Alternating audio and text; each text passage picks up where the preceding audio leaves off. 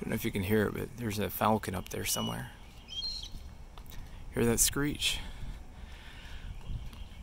That is a bald eagle calling out in fear and terror, saying, Save me, U.S. government, save me. The postal man's feeding the cats, trying to kill us all. That's what that eagle is screaming. Save me. Eagle, I'll do what I can.